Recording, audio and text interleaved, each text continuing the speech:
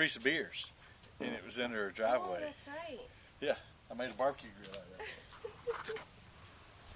what do you think? Do you have a welder at your house?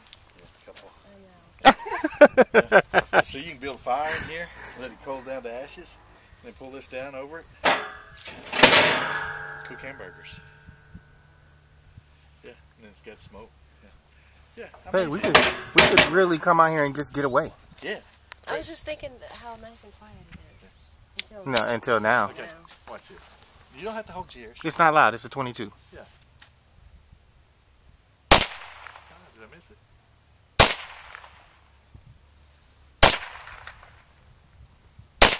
What are you doing? Man, what are you doing?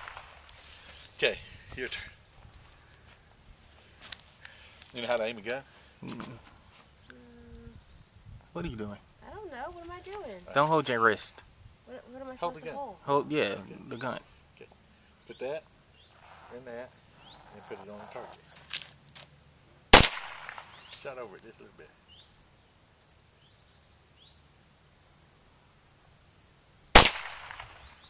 Am I anywhere near it? Straighten out your arms a little bit more. Use your body to aim. Yeah. There you go.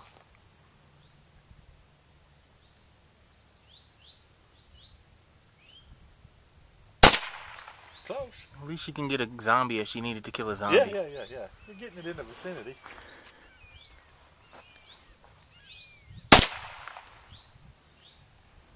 Keep going. You ain't shot them all yet. You gotta empty the gun.